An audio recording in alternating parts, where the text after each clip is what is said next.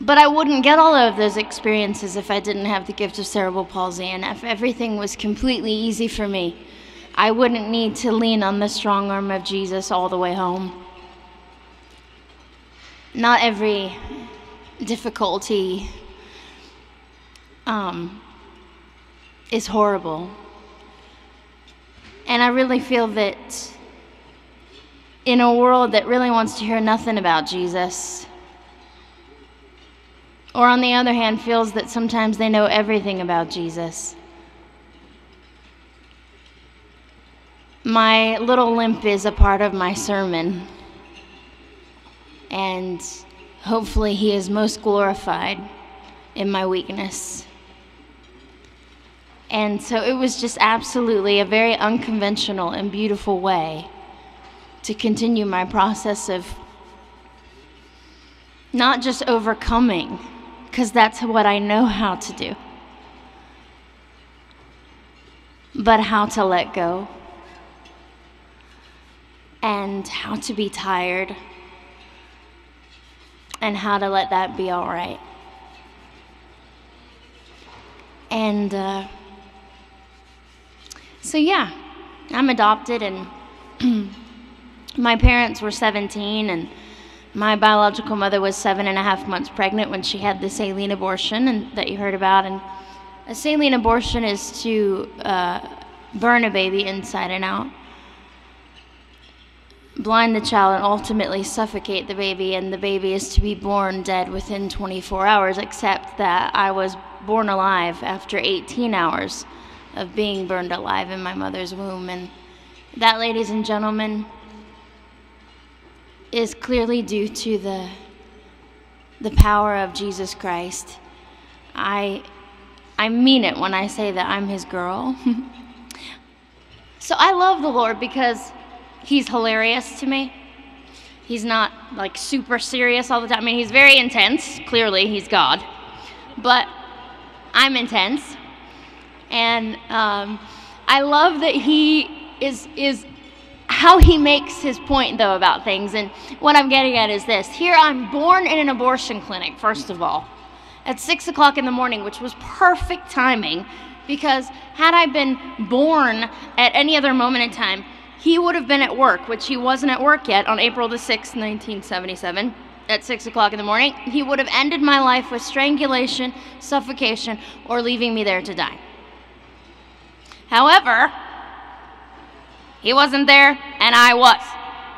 So the nurse called an ambulance and had me transferred to a hospital, which saved my life. But he didn't know uh, what he was going to have to do, and that. he was going to have to sign my birth certificate. So here, this punk is trying to take me out. Me! He's trying to take me out. And I, the one thing that is just annoying me, annoying me in our culture and world right now is this. I feel like we treat Jesus and, and, and refer to him all the time as if he's just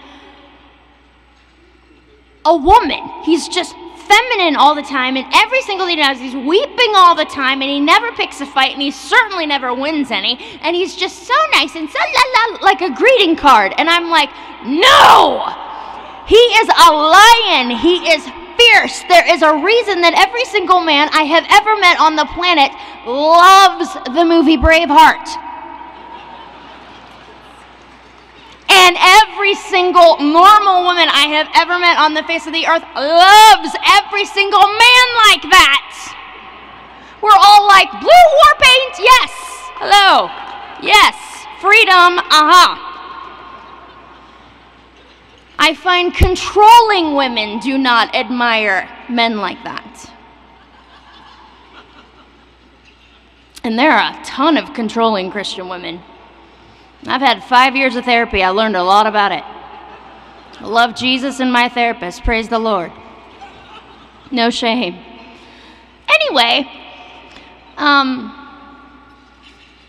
it's great when you can get into a point in life where you really don't care what everybody thinks. It really is. It's, it's true freedom. Um, so, when I think about the Lord causing, making this man who hours before was trying to end my life sign my birth certificate, I can imagine the brave heart side of God going, sign here. You will acknowledge her life. You will never, ever, ever, ever be able to forget this girl. Not because she'll march around the world talking about how you deserve hell and all of this stuff. No, in fact, she will march around the world proclaiming Jesus Christ and reminding you every single time you try to ignore her that you, sir, are in need of that redemption and you, sir, are worthy of it because we have all fallen short of the glory of God. And so uh, I don't run around the world this bitter, angry, whatever chick. I don't have time for that. Um, I want to live and die and have left beauty in the world and sweetness in the world and humor in the world and I don't know all the loveliness that I possibly can. So,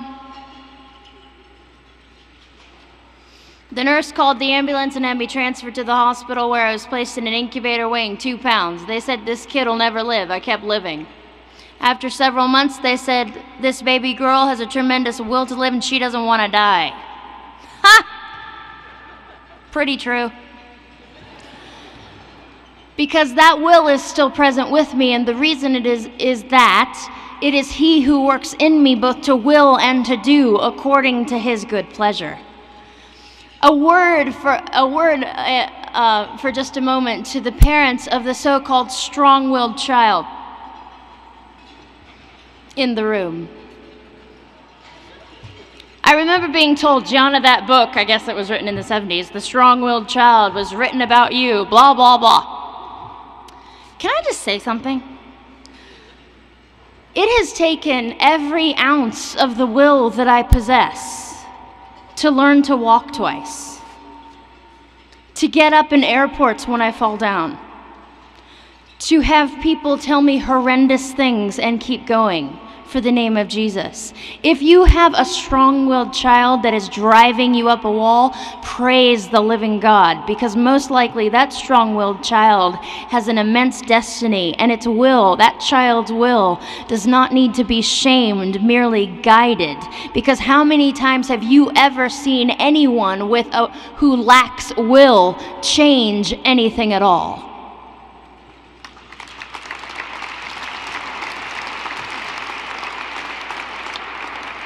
There is no way that I could overcome for Christ without the strong will that I was so shamed for. And I don't know why we are so fond as Christians of shame. Never has worked for me. And I have never had a conversation with Jesus where he has ever operated in that with me. It is, it is his kindness that leads me to repentance. So, you just might want to think that over with the kids that are making you crazy. They're probably going to change everything.